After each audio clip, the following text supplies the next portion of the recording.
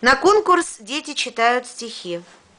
Аитова Екатерина, 7 лет. Город Белгород. Средняя школа номер 20. Андрей Усачев, снежинки.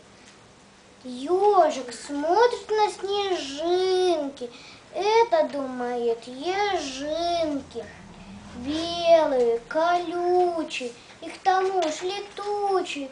Паучок на паутинке тоже смотрит на снежинки. Ишь, какие смелые эти мухи белые. Заяц смотрит на снежинки. Это зайчьи пушинки.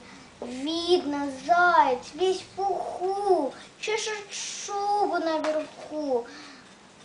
Мальчик смотрит на снежинки. Может быть, это смешинки? Не поймет он, почему. Очень весело ему.